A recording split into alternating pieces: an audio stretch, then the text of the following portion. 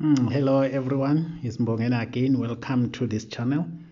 In this video, I would like us to look into the coup in Burkina Faso. Burkina Faso is one of the African countries on the west part of Africa. So there has been an issue surrounding the coup or the attempted coup, whatever the case may be. But the bottom line is that the army of that country being supported by the citizen has taken over the running of the country. That is the information that is out there.